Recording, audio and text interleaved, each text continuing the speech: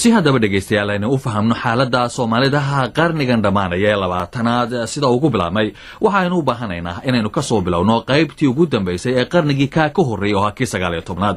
Intii u dhexaysay sannadkii kun iyo siddeed boqol iyo lixdankii ilaa kun iyo siddeed boqol iyo toddoba iyo sagaashankii waxaa dhulka soomaalida iyo gobolka uu ku yaalaba uu noqday mid loo galo tartankii xagga gumaysiga. Xilligaasi waddamada u tartamayay inay gumaystaan gobolkaasi waxay ahayn ingiriiska faransiiska talyaaniga masar iyo etoobiya haddaba sanadku markuu ahaa kun iyo siddeed boqol iyo sagaal iyo kontonkii ayaa faransiiska qunsul u fadhiyey magaalada cadan uu oggolaansho uga helay cafarta magaalada obakh in faransiisku uu yimaado. Saddex sano kadibna faransiisku waxa uu canfarta uu ka iibsaday obakh kadibna calankii faransiiska ayaa halkaasi laga taagay. Hase ahaatee faransiisku waxaa inuu ka faa'iidaysto uu bilaabay uun koob iyo toban sannadood kadib markii la furay suweys kanaalka waxaana halkaasi ay etoobiya waqtiyadaasi ay ka wada sameeyeen sharikad xagga ganacsiga ah oo ka dhexaysa labadooda dhinaca kale haddii aynu eegnana talyaaniga ayaa isna bilaabay sidii uu meel uga heli lahaa gobolka baddacas waxaana wasiirka arrimaha dabadda ee talyaaniga wakhtigaasi oo lahaa uu awoodu siiyey baadari hore u fadhihi jiray dalka etoobiya oo la odhan jiray giuseppe sabeto in talyaaniga meel uuga helo halkaasi. Kun iyo siddeed boqol uu helay magaalada layada casab. Sanadkii ka dambeeyeyna shirkad talyaani ah oo ku howlanayd wixii maraya suweys kanaalka oo ku socda indiya ayaa talyaaniga casab uga iibisay xilligaasi masar ayaa iyaduna dareentay tartanka gobolka loogu jiro. Dabadeedna waxa ay soo nooleeyeen turkiga oo hore isagu u sheegan jiray xeebaha badda cas sanadku markuu ahaa kun iyo siddeed boqol iyo lix iyo lixdankii ayaa turkigu dabadeed sukayn iyo musawac oo eritereya ku wareejiyey dowladdii khadiif ismaaciil ee masar iyadu markaasi ka dhisnayd oo iyaduna dabadeed sheegatay xeebaha soomaalida. Dowladdaasi khadiif ismaaciil barasaabkii u fadhiyey suudan ayaa dabadeed sanadku markuu kun iyo siddeed boqol iyo toddoba iyo siddeetankii booqasho ku yimid isagoo ujeeddadaas u socda magaalooyinka tajura zaylax iyo berbera mar dambena waxaa la soo diray nin la odhan jiray maxamed jamaal bey oo calankii masaarida isagu ka taagay bulaxaar iyo berbera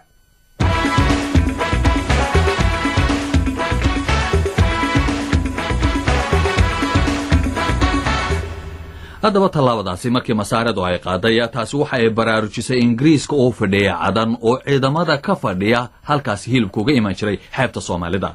Ingiriisku waxaa kaloo ay doonayeen in waddan kale oo awood lihi aanu qabsan xeebaha soomaalida gaar ahaanna waxa isha ay ku hayeen oo ay ilaalinayeen faransiiska oo tartan ka dhexeeyey hase yeeshee ingiriiska iyo masaarida ayaa afgarasho ay dhex martay. Maamulkii masaariduna si dhaqsaha ayuu ugu fiday xeebihii soomaalida.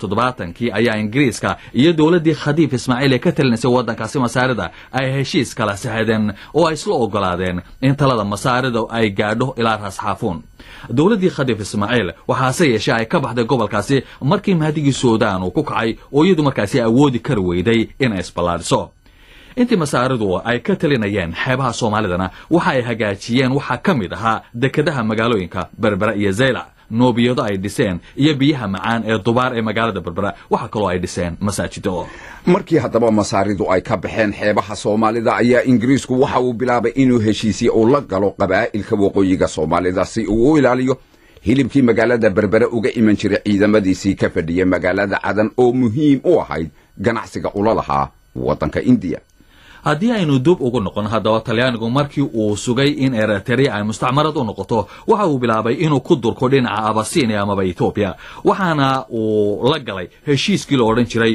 ujialia oo talyaanigu u arkayey in abasinia mustacmarad uuga dhigayo talyaaniga. Inkasta oo boqorkii etoobiya wakhtigaasi ka talinaya lo odhan jiray milik uu isagu ku dooday in heshiiskaasi tarjumadiisa afxmaariga marka la eego aanay sidaa iyadu ahayn oo markaasi ay u fasaxaysay inuu si toosa ula macaamili karo waddamada dibadda heshiiskaasi awgii ayaa talyaanigu u suura geliyey inuu bilow u noqdo inuu ka qayb qaato qaybsigii soomaalida la qaybsanayey sannadkii heshiiskaasi la galaba waa kun iyo siddeed boqol iyo sagaal iyo siddeetankii bishii februariyo qulsul talyaaniga ka fadhiyey sansibar oo la odhan jiray vincenzo leonardi iyo suldaankii hobyo cali yuusuf ayaa heshiis galay talyaanigu uu ku ilaalinayo. Sanadka dhammaadkiisina shirkadda talyaanigu lahaa oo la odhan jiray imperia bridge east africa ayaa ka sii kireeyey talyaaniga xeebaha banaadir oo uu markii hore ka kiraystay suldaankii sansibar sanadku markuu ah kun iyo siddeed boqol iyo labaiyo sagaashankiina suldaanku waxa uu ku wareejiyey talyaaniga magaalooyinka baraaw marka muqdisho warsheikh muddo shan iyo labaatan sannadooda isaga oo kaga kireeyey boqol iyo lixdan kun. Sannadkiiba waa lacagta liirahe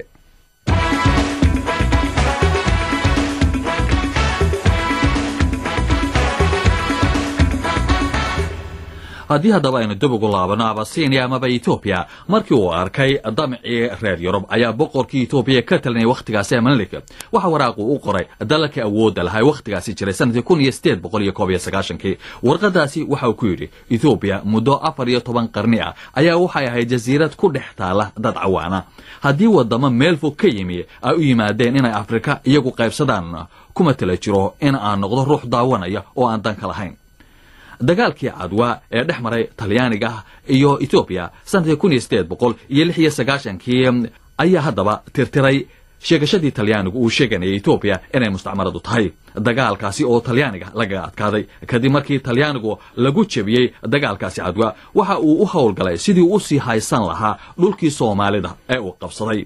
Nin la odhan jiray major nerozanium ayaa wadahadalla dhinaca talyaaniga u galay waxaana etoobiya talyaaniga ay ku khasabtay inuu yareeyo dhulkii uu sheeganayay ee ogaadenaya dhulkaasi oo heshiis hore ingiriiska ay wada galeen sannadkii kun iyo sideed boqol iyo afar iyo sagaashankii ingiriisku uga ogolaaday sanadku markuu ah kun iyo sideed boqol iyo sagaal iyo toddobaatankii ayay etoobiya iyo ingiriisku waxay wada galeen heshiis tusmaynaya sida ay u kala leeyihiin dhulka soomaalida. Hase ahaatee soomaalidu waxay un ogaatay waxa dhacay siddeed iyo soddon sannadood kadib markii la isku dayay in soodinta u dhaxaysa la calaamadiyo.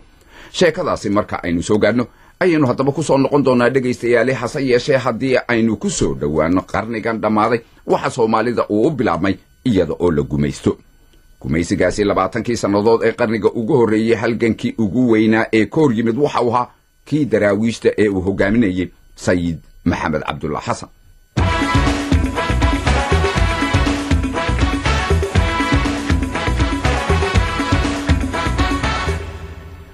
sida haddaba qiyaasu tahay sayidku waxa uu dhashay bishii abril toddobadeedii sannadkii kun iyo sideed boqol iyo afar iyo lixdankii. Waxa uu ku dhashay ceel laga cabo oo ku yaalla meel u dhexaysa wedwed iyo buuhoodle toddoba jir markuu ahaa ayuu qur'aanka barashadiisa bilaabay. Sagaal iyo toban jir markii uu gaarayna waxa uu noqday sheekh oo loogu yeedhay intii barashada cilmiga uu ku jiray sayid maxamed cabdalla xasan meelihii uu soo maray ee uu tegey waxaa ka mid ahaa magaalada herar ee dalka etoobiya muqdisho suudaan iyo maka intii uu joogay maka waxaa macallin uu noqday amaba uu ku xidhmay sayid maxamed saalex oo dariiqada saalixyada isagu ku abtirsato.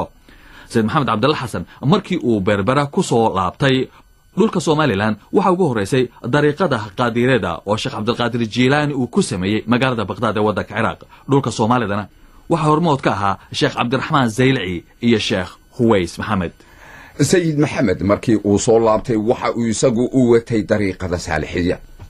Waxa uu bilaabay ololo uu ingiriiska kaga saaraya dalka isaga oo huwan dariiqadiisa saalixiyada sanadku markuu ahaa kun iyo siddeed boqol iyo sagaal iyo sagaashankii bishii abril waxaa rasmi ahaan loo sheegay inuu urursaday ciidamo gaadhaya ilaa iyo saddex kun oo nin. Kowdii sebtembar sanadku markuu ahaa kun iyo siddeed boqol iyo sagaal iyo sagaashankiina waraaq uu soo diray qusulkii ingiriiska xeebaha soomaalida ugu qaabilsanaa waxaa sayidku ingiriiska uu ku eedeeyey inay cadaadinayaan islaamka waxaana uu cambaareeyey kuwa gacanta siinayey warqadaasi waxa uu ku yidhi sayidku imika idinku kala doorta haddii aad dagaal doonaysaanna waa ogolla haddii aad nabad doonaysaanna ganaax bixiya. Maalintaasi ayaa nin fallaaga ah loo qoray. Labaatan sannadood oo uu dagaal kula jiray ingiriiska talyaaniga iyo etoobiya ayaa markaasi bilaabmay. Haddaba bal aan idinku wareejiyo awjaamac cumar ciise oo inoo sheega sida sayidku uga baxay berbere ilaa iyo intii ay dagaalada isaga hor yimaadeen ingiriiska. Anigoo soo koobaya sayidku dhaqdhaqaaqii ugu horreeyey wuxuu ka bilaabay berbera. Sida la leeyahay maalin maalmaha ka mid ah ayaa nin baadariyi isagoo inama dhowra shan iyo lix dabada ka wado suuqa marinaya ayuu arkay. Markaasuu yidhi war waxa kanu waa maxay? Dee waa diinteenniiyoo la soo galay. Dabadeed dhagax buu qaatay baa layidhi wuxuu ku dhiftay gaalkii meeshaa joogay oo baadariga ahaa. Wuxuuna yidhi ilaahuw maantay intaasaan awoodaa culammadii reer berbera hadallaa laysku jiiray oo dhowr erayo uu sheegay oo yidhi baridu waa xaaraan qaadku waa xaaraan iyo waxyaabo ka mida ayay xoogaa yarahee arrintii laysku maandhaafay markii dambena xaalkiisii magaaladii waa ku fiday oo magaalada berbera wuxuu ku noqday nin caan ah oo wax soo wada. Nin la ohan jiray allahu naxariistay awgaas ayaa xaalkiisii markuu eegay wuxuu yidhi walle ninkan haddaan maanta la qaban meel fog baa laga dooni waa la dacweeyey. Adigu markuu dareemay inaan magaalada xoogaa yareh laga jeclayn amaan wax ugu suuroobi karin waa ka baxay. Wuxuu sii maray dhaymoole iyo majacase oo ay ka furayd maaragtay muxuu ahaayey laba isgool oo baadariya oo ciyaal agoona iyo lagu ururiyey wax lagu baraayey. Inan buu u yeeray wuxuu yidhi adeer magacaa. Wuxuu yidhi john baa la yidhaahdaa. Waagii horena maxaa lagu ohan jiray? Cali. Sidaas ayuu u sii dhaafay baa la yidhi. Wuxuu yidhi maanta matanay joogtaa shiikh buu sii maray suldaan nuur axmed ammaan ayuu wuxuu ugu tegey ood weyne wuxuu sii socdaba. Maxaa yeeley hadalka ayaan soo koobi. Dabadeedna qolyahaas habar yoonista xoolo badanna waa siiyeen aad iyo aad bay u kaalmeeyeen waana lays afgartay wuu ka tegey xoolihii isagoo wata wuxuu tegey meel la yidhahdo qoryo weyn oo magaalada burco koonfur bari kaga toosan. Halkaa ayuu ka aasaasay. Horey buu uga gudbay wuxuu u sii gudbay xagga bariga buuhoodle iyo halkaasuu tegey adigu meeshaa markuu joogay xoogaha khilaafyo yare baa dhacay. Dhowr nin oo dhulbahantaa oo garaad cali uu ka mid yahay ayaa meeshaa ku dhintay. Horey buu uga tegey markii halkaa u egay dad badan baa raacay adduun badan baa raacay. Rag iyo maaragtay xoola isagoo wata wuxuu u kacay dal ogaadeen malaha kaaqul buu ka baqay. Xagga maaragtay nogaasha iyo dhulbahantaha in garaad cali dilkiisii wax kaga yimaadaan. Wuxuu u tegey nimanka la yidhahdo maxamed subayr gurdumi meesha la yidhahdo ayuu xaruntiisii ka dhigtay halkaasna muddo ayaa la wada shaqaynayey hase ahaatee xoogaa ayaa markii dambe khalal ayaa dhacay. Arrintuna waxay ka bilaabatay nin bahgeriya ayaa markii horeeto hore loo diday oo la ohan jiray jiijiile markaasaa nin kaleeto ayaa meesha lagu dilay layidhi waa xujoobay la ohan jiray shida dhabar jilic oo xoogaa boqor ahaa. Goor galaba ayaa uu raggiisi intuu kaxaystay dibadda ula baxay markuu xaruntii ka baxay meel maraayey wuxuu yidhi war shido dhabar jilic jiijiile ma u argalaa guraase xaaji cali ayaa la socday oo aanu markii hore arkayn. Hadalkii ayaa maaragtay muxuu ahaayey xoogaa magaaladii galay dadkii waa la maqlay. War ninka kanu ma aha baa la yidhi nin maaragtay muxuu ahay u socda diin fidinteed iyo wax kaleeto. Xoogaa yarahee halkaa waa laga diday. Rag baa u tashaday. Waxay markaa dooneen nimankii maxamed subayr khaas ahaan reer cabdille inay ninkaa ka takhallusaan oo dilaan shirqool bay u sameeyeen waxay yidhahdeen sayidii intaad noo timi laguma dabaaldegin waa ku dabaaldegaynaa soo baxo marka balliga imow balligii markii uu yimi fardihii baa loogu dabaaldegay markii la rabay in maaragtay muxuu ahay la dilo ayaa nin la ohan jiray garaad ahaayoo reer haaruun ahaa ayaa u digay wuxuu meesha shirqool baa lagaga wadaaye iskaga bax aw cabaas nin la ohan jiray ayaa halkaa lagu dilay dhulbahanta ah oo bahar sama ah. Dabadeed halkaasuu ka qaxayo wuxuu u noqday nugaal iyo barbarkaas. Muddo badan buu hawdkaa ku jiray adigu laba sana ah. Jigjiga waa kan colka geliyey. Colkaa laguma guulaysan. Dabadeed wuxuu weeraray. Nimanka la yidhaahdo maaragtay habar yoonis iyo habar awaloo dhinaca isku haya galbeed ayuu ka weeraray. Nin shariifa ayaa u yimi oo wuxuu yidhi waxaan doonayaa siyaaro. Xaggee baad ka timi. Habar yoonis baan la joogaayo. Nin shariifaan siyaaran ka qaataa sannadkii qaalin ama labaa laysiiya war wejigaa gubaye aan maaragtay muxuu ahaayey ragku siiye xoolaha habar intaad siyaarada doonayso wax baryayso colkan ka kaxayso xoolo dhacoo boqol halaad la tago faafan iyo maaragtay muxuu ahaye la tag dhulka kan dadkiina degan yahay. Sidaasuu yeelay col baa lagu saaray habar yoonis waa colka la baxay dayax weerar. Colkaa geel geelal badan baa laga qaaday geelii boqol halaad baa laga siiyey baa la leeyahay ninkii la ohan jiray shariifka. Nin baa halkaa ka gebiyey subaxdaasoo wuxuu yidhi col shariifi wacayso calin reere dhacaaya cilmi geel lagu qaado. Hasiiskiina abuuradow cimri iyo kusimaado ciribteeda ogaada. Dabadeed waa guureen oo waxay tageen buuhoodle markaasaa ingiriisku col ku soo saaray oo la ogaaday dhaqdhaqaaqiisii warqado badan oo laga helay iyo warar laga soo tebiyey kun iyo sagaal boqol iyo kow maalintay ahayd bishii janaayo ayaa dagaalkii u horreeyey ka dhacay meesha la yidhahdo haradhiig intaas wax dawlad u eg diin baynu fidinaynaa maaha e wax dawlad u eg ama alabkeed leh lagama maqal. Hase yeeshee waxaa ka muuqanayay difaac diimeed iyo in diinta la bedelayo oo baadariyo iyo maaragtay kiristan uu dhulka soo gelayo dagaalkaa gaaladu waxay u taqaan siduu qoray douglas jardin samara. Xaggana waxaa looga yaqaan haradhiig rag badan baa ku dhintay. Isku sannadkaas waxaa dhacay afbakayle caana xarigle kurgaraad odagooye fardhidin beerdhiga intaas ayaa sannadkaa dhacay.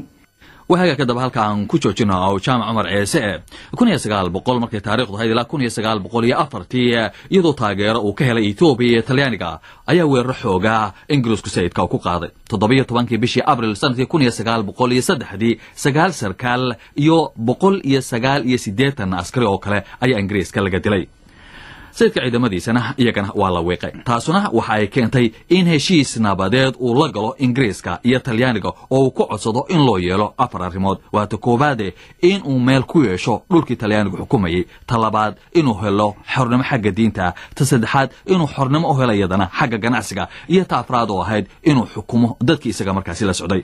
Afartaa arrimood oo sayidku codsadayba afartaba waxaa laga ogolaaday heshiiskii ka dhacay meesha la ydhahda ilig bishii maarj shanteed sannadkii kun sagaal boqol iyo shantii. Hase ahaatee sayidka ololihiisii halkaasi kuma joogsan. Waxa uu ugu kulula dagaalkii xagga afka ee ay xambarsanaayeen gabayadiisu sida loo arkayba. Waxaa dabadeed dhacday in ingiriisku uu dib ugu soo gurto xeebahaasi oo uu hubeeyo qabaa'ilkii la jiray. Hase ahaatee taasi waxa ay dhalisay in qabaa'ilkii la hubeeyey ay bilaabeen inay ku kala aargoostaan utumo hore iyaga u dhex yaalay. Xilligaasi waxaa dhacay wakhtigii loo bixiyey xaaraama cune oo macaluul aad iyo aad u ba'ani ay dhacday. Rasmi ahaan ingiriisku sannadkii kun waxa uu ku qiyaasay in maxmiyadiisii saddex meelood meel ahaan dadkii ku noolaa ay dhinteen. Waxaa kaleeto oo dhacday inuu sayidkii u soo xoogaystay taasu waxay keentay in ingiriisku uu beddelo istiraatiijiyadiisii. Waxaa la abaabulo ciidamo uu hogaaminayay ninkii la odhan jiray richard covil oo isagu dagaal la galay sayidka bishii ogost sannadkii kun iyo sagaal boqol iyo saddex iyo tobankii dagaalka ba'an ee ka dhacay meesha la yidhaahdo dulmadoobe oo bariga magaalada burco ka xiga ayaa lagu dilay. Ninkaasi la odhan jiray richard cofi sayid maxamed cabdilla xasan gabay dheer ayuu ka tiriyey geerida cofi koofilow jiitayaan dunida joogayne adigaa jidkii lagugu waday jimiclaaneede jahanamo la geeyo wada akhiro jahane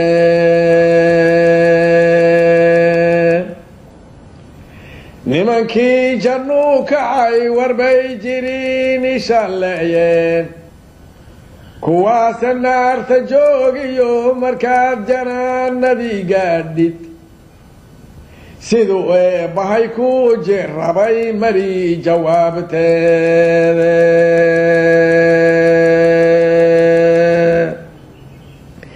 daraawiish jigraar nagama dayntaniyo jeerkeedheen jigta weerar bay goor barqaca nagu jifeeyeendheen ingiriis jabyo waxaa ku dhacay jac iyo baaruudadhe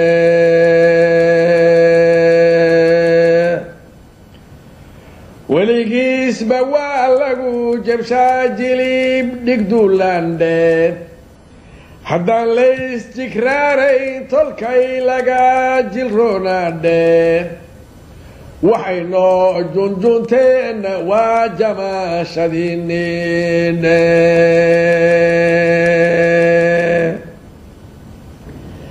anigana jigrey helay shalay jahadkeedheen jeenigaa hortiisay rasaas igaaga jiidandheen jidhaayaday ilaa dhicin jili cafkoodiine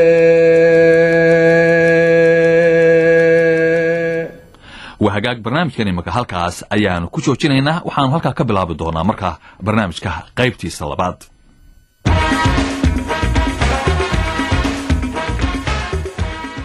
waa hagaag dhegaystayaal barnaamijkii hore aad dhegaysateen waxaa inoo joogay wakhtigii la dilay ninkii la odhan jiray cofil iyo gabaygii sayid maxamed cabdalla xasan geeridiisa uu ka tiriyey halkii aynu haddaba taariikhdii ka sii wadayna iminkana bal waxaynu eegaynaa mabda'ii sayidku uu lahaa inuu ahaa mid diineed iyo inuu doonayay dowladnimo. Maxaa taas muujinaya? Waa tahay waxaan mar kale haddaba idinku celinayaa. Aw jaamac cumar ciise oo arrintaasi bal inoo ifiya.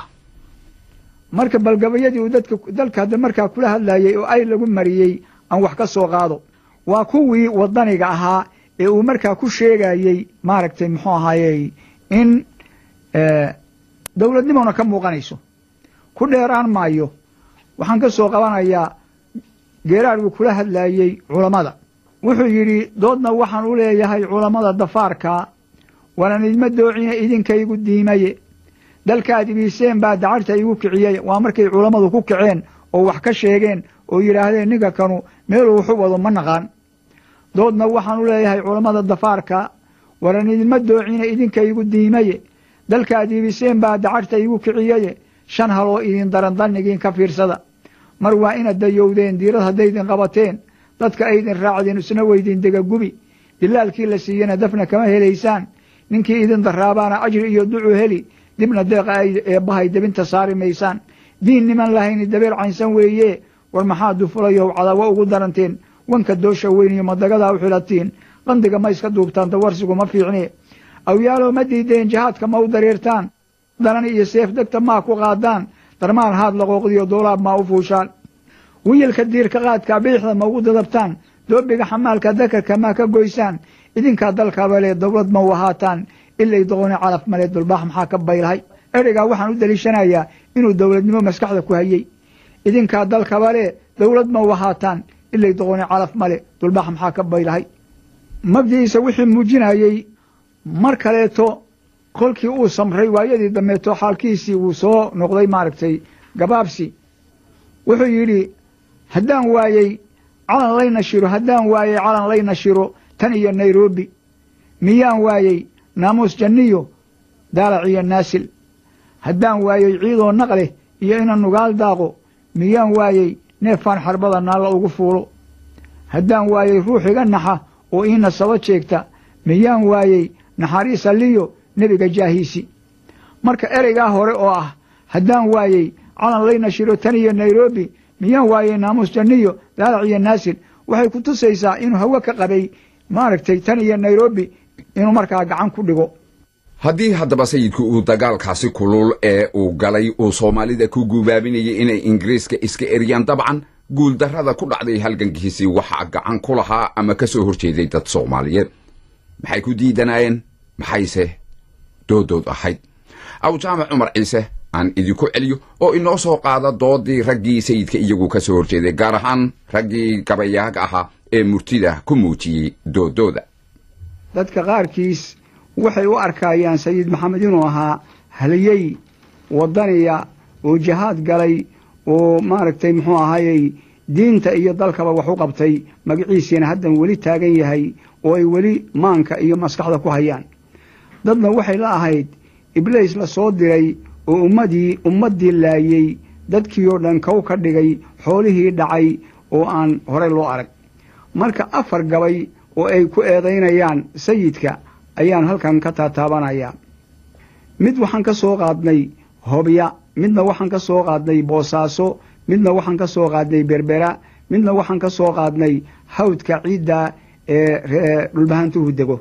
Bal afartaa gabay kan ugu horreeya berbera aan ugu horraysiino waa cali jaamac haabiil oo ay xinif sayidka lahaayeen. Cali jaamac wuxuu yidhi allahayow adduunyada adaa uuntay keligaaye.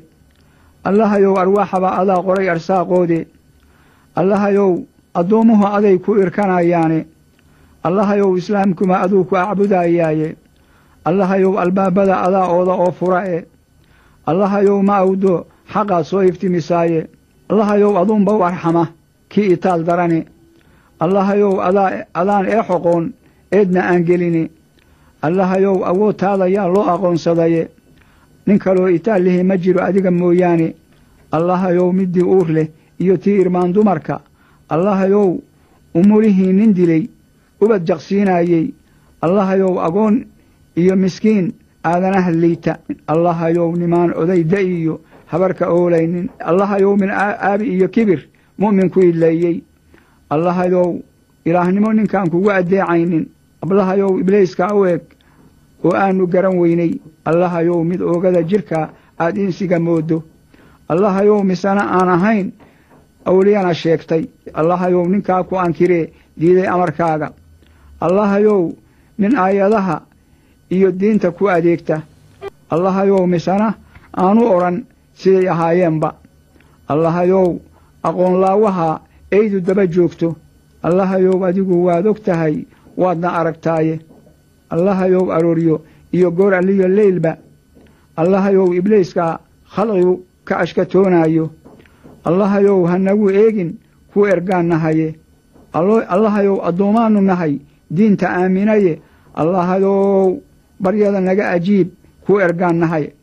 Waxaan u leexanayaa markaa nin la odhan jiray cali maxamuud samantar oo gobolkaa ku noolaa magaalada boosaaso.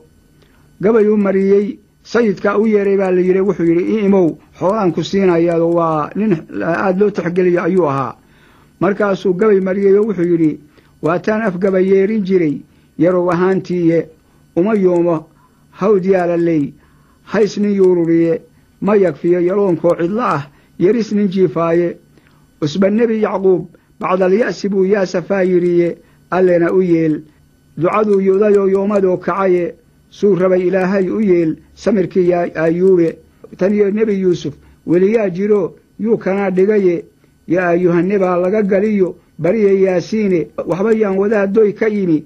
Odhanin yaabuuye waxba yuu isiin qaalmuhuu soo yahoobiyaye. Nin qabiiladiisii yuu tidhi yuu annii rabine yuu fuuna dhaha. Taladiisu waa yuuxan roob jirine marka waa diiday oo wuxuu yidhi u tegi maayo agtiisana mari maayo.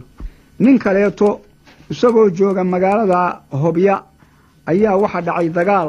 Laysku arkay daraawiishtii marka waxay moodayeen markii horeeto inay daraawiishta iska celin karaan. Kolkii warkii loo keenay oo siday waxu laayeen iyo hoogga ay dhigeen ayuu gabay ka mariyey. Waxaa la odhan jiray ninkaas geylan nuur guray.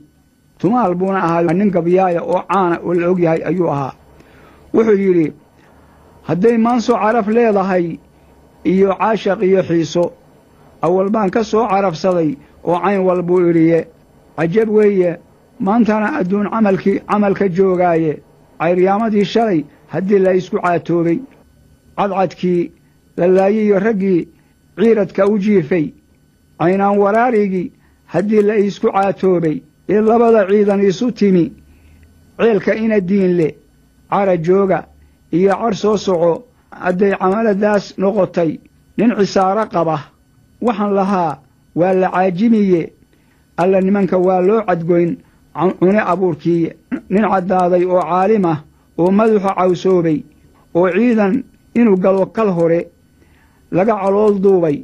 Ninku waa caruusee warmaha ku cadcaddoo dila rabbi iyo nibaa laga cuskaday. Caadam ma ahayne caamaannu nahay oo qalbigu naga carruurowye iyagaa cibaadada hayee culamo weyddiiya in wadaadku ceeb hurin hayo oo camalku faaroobay. Iyo inuu cilmi aan lala oqoon curiyay oo keenay caamaannu nahay oo qalbigu naga carruurowye iyagaa cibaadada hayee culamo weyddiiya carruur dhalatay oo aan weli guryaha caradna u dhaafin in caloosha laga soo rido oo hadda la cunsiiyo. Rabbi iyo nibaa la cuskaday ee caado ma ahayne iyagaa cibaadada hayee culamo weyddiiya horta naag calooloo jilbaha ciidda dhiganaysa oo waxay carsanlaysaba haddii dumarku soo ciidmo ciyaal aan maalintaa ka hor la arag oo aad ciidagele mooddo inuu caawimaan la arki jiray calaf nin haystaaye caanaha kan naasaha ku yaal canuguyuu nuugin cadkana gooya gaalada cad bay camal wadaagaane rabbi iyo nibaa la cuskaday ee caado ma ahayne iyagaa cilmiga noo hayee culamo weyddiiya gabagaas ninkaasuna intaas oo calaacalah ayuu wax kaga tilmaamayo oo uu leeyahay waxaas ayaa daraawiishi samayn jirtay iyo wax ka daran.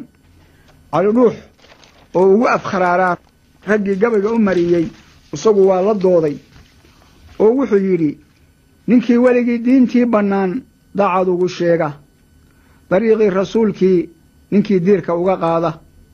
Daw kulama soo baxo cilmiye waa la diriraaye. Doofaaraduu wadan jiruu dila yidhaahdaaye iyaguna markaasay ku didi diidi mahayaane bal in meesha lagu doorsan yahay waxuu daliilkiiya duqaydii badnayd ee ku lumay duudsi iyo jeedal.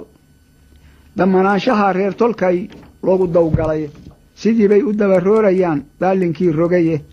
Dooxiyo hadday nala degaan degalka buuhoodle waxaa lagu durdurin ee bahay uma darraadeene sidii dumar dagaal iyo afxumo uma dulqaateene diyaar uma hadlaan wiilashii dawladda ahaaye. Daaroodka waa wada dhasheen diriyo haabkiise. Hadday deris wadaagaan nin kale dacal ma waayeene. Alla may iskaga soo durkaan deris ma laayeene. Gabaygaasna waxa mariyey cali dhuux. Gabayadii uu mariyey oo doodda ahay kula doodayey u marinayey ninka la yidhaahdo ina cabdulla xasan waa gabaga ugu ugu hufan. Inta kaleeto waa cay iyo maaragtay muxuu ahayey waxaan la sheegi karin. Haddee waxa la yidhi rag rag colloobay cay iyo abxumo waa waa camaladoodii. Wahaag dhegaystayaal intaasna halkaa kaa gudubno. Waxaa daba sii socday dagaaladii dhex yaalay dowladdii ingiriiska iyo sayidka iyo daraawiishtiisii sayidka waxaa qalcaddiisa ugu adag ahayd degmada la ydhaahdo taleex waxaa ingiriisku deetana halkaasu ka saaray markii dayuurada uu ku garaacay. Deetana sayidka iyo wixii ka hadhay daraawiishtiisii waxay u gudbeen dhulka soomaalida ema ka tirsan dalka etoobiya si markaasi dib ay isugu abaabulaan ciidan cusubna ay u helaan. Wakhtigaasi ingiriisku ah niman soomaaliya odayaal ah ayuu sayidka u diray si loogu soo qanciyo inuu isdhiibo isagana xarun diineed looga sameeyo galbeedka maxmiyadda. Hase yeeshee sayid maxamed cabdilla xasan ergadaasi waa uu diiday. Wakhti yar kadib sayidka iyo raggiisii waxaa weerar ay ku soo qaadeen qabaa'ilka soomaalida ee degan dhinaca sohdinta etoobiya dabadeedna iyada oo ay taageero ka heleen ingiriiska ayay qabaa'ilkaas iyaguna ku duuleen xaruntii daraawiishta oo halkaasi si xun ay ugu jabiyeen rag aan badnayn iyo sayidkii dabeetana waxay u baxsadeen imey oo ku taala dhinaca etoobiya halkaasi oo ay gaadheen bishii oktoobar sannadkii kun iyo sagaal boqol iyo labaatankii. Dhammaadkii sannadkaasi oo ahayd koob iyo labaatankii bishii disembar ayaa sayidku ugu dhintay imey kaneeco amaba duray. Sida taariikhdu ay qorayso. Waxaa da'diisu wakhtigaasi ahayd lix iyo konton jir sayidku markii laga adkaaday waxa uu tiri haddaba gabay dheer oo dardaarana oo dadka soomaalida ah uu kula hadlayo aw daahir afqarshe haynoo mariyo. Dallacaad jacayl baad kurtii noola dhirirtene dubaaqiina waa xasaa u galay daara buuxsadae. Duukama heshaan faranji aada wadhigataane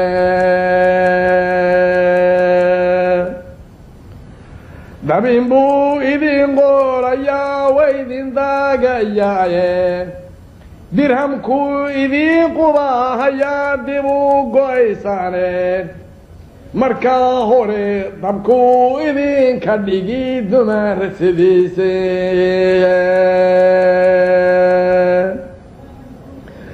Markaa xigaana daabaqaada wuu idin dareensiine markaa xigaa dalkuu idinku odhan dunyo dhaafsadae markaa xigaa dushuu edeenka rari sidaa dameeraaye gidigeedba soomaali baan dayrka ka ahaayeen dhaxaan darawiishta idhi doonta gaaladae dhaxaan askaara uu dalbaday dabaada taageene dhaxaan dabkii iyo la hadhay dunyadu wadaaye dhaxaan intaan janaana dilay soo dabaaldegeeye dhaxaan dekeeda uu xamiray duniyo roge. Ninkii diriirta geeya maalin bay dunidu iishaayeen mantu aan diyaafad iyo guul dareejo eegayay baldayay waxay nagu falin daraf nijaaseedka wahagaag dhegaystayaal inta haddaba aan kaga gudubno halgankii sayid maxamed cabdalla xasan dagaalkii uu kula jiray ingiriiska.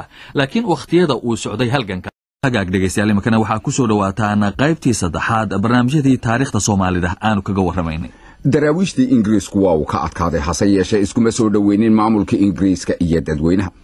Dareenkii uu sayidku ka booday ee dugsigii dhaymoola la odhan jiray ayaa weli jiray sanadku markuu waa kun sagaal boqol iyo labaatankii lix dugsi hoosaad oo la qorsheeyey ayaa waxay u socon waayeen markii la diiday cashuurtii xoolaha laga qaadi lahaa. Magaalada burcana dhiisi lagu dilay hase yeeshee wakhti dambe ayaa arday soomaaliya loo diray waddanka suudaan kuwaasi oo markii dambe halgan u galay sidii dugsiye uga furmi lahaayeen dhulkii ingiriiska uu ka talinayay.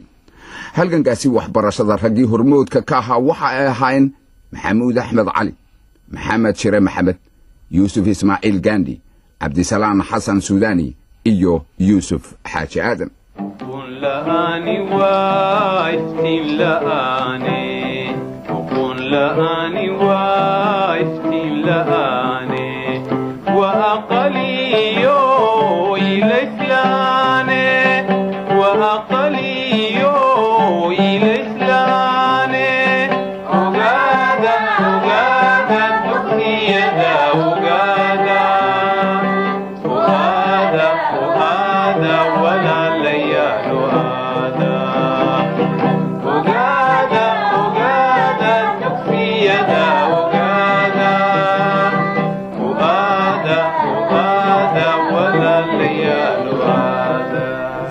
haddaba bishii sebtembar sannadkii kun iyo sagaal boqol iyo soddonkii ayaa kadib markii talyaanigu ku adkaystay ayaa waxaa la dhammaystiray calaamadinta sohodinta u dhexaysay dhulka soomaalida. Inta talyaanigu xukumayey xilligaasi. Ingiriisku waxaa dabeetana uu ku dhaqaaqay in la calaamadiyo soodinta kala qaybinaysay ethoobiya iyo iyaga dhulka soomaalida oo ay qaybsadeen oo heshiiskaasuna uu dhacay sannadkii iyo toddoba iyo sagaashankii si taasi loo meelmariyo guddi labada dhinac ka kooban ayaa walwaal meesha layidhahda tagtay bishii noofembar sannadkii kun iyo sagaal boqol iyo afar iyo soddonkii. Haddaba ilaa iyo intii heshiiskaasi kala qaybinaya qabaa'ilka soomaaliyeed ay talyaaniga iyo etoobiya kala sexdeen sannadkii kun iyo sagaal boqol iyo sideedii talyaanigu waxa uu ku soo durkayey dhinaca etoobiya dhulka ogaadeniya waxaana la shaqaynayey wakhtigaasi dad soomaali oo ay ugu magac dheeraan ninka la odhan jiray ololdiin oo ahaa suldaan ajuuraanka oo awood lahaa lacag iyo hubana talyaanigu uu siiyey etoobiya lafahaanteedu dhinaca soomaalida ma taageero la-ayn. Waxaa ka mid ahaa cumar samataro oo talyaaniga ku weeraray ceelbuur sannadkii kun iyo sagaal boqol iyo lix iyo labaatankii una gudbay dhinaca etoobiya markii dambe. Goobtaasi dabadeetana waxaa isku dhahay ciidamadii talyaanigu lahaa ee fadhiyey iyo qaar ka socday etoobiya talyaaniga oo middoba ka diyaar garoobaya isagu dhinaca soomaalida ee uu fadhiyey iyo dhinaca eritariyaba dagaalkii halkaasi ka bilowday waxa uu dheliyey in talyaanigu si buuxda uu qabsado etoobiya bishii meey toddobadeedii sannadkii kun iyo sagaal boqol iyo lix iyo soddonkii dagaalkaasi waxaa talyaanigu ay kaga soo kabteen magaxumadii ka soo gaadhay dagaalkii cadwa ee etoobiya kaga adkaatay sanadku markuwaa kun iyo siddeed boqol iyo lix iyo sagaashankii haddaba dareemadii xagga wadaninimada iyo fahamka gumaysigu waxaa soomaalida uu ku dhashay marka laga reebo dagaaladii sayidku uu galay ingiriiska uu la galay iyo kuwii bayamaalku ay kula jireen talyaaniga. Markii reer magaalanimadu ay bilaabantay oo la degay magaalooyinka ay ka mid tahay magaalada muqdisho. Meelahaasi waxaa degay askartii ka soo laabatay ololihii talyaanigu uu ku qaaday dalka etoobiya wakhtiyadaasi waxaa ka bilaabmay dhinaca koonfurta kulamo hoose. Hase yeeshee waxaa talyaanigu ay cadaadinayeen cagta ay saarayeen wixii halis ku noqon kara maamulkooda.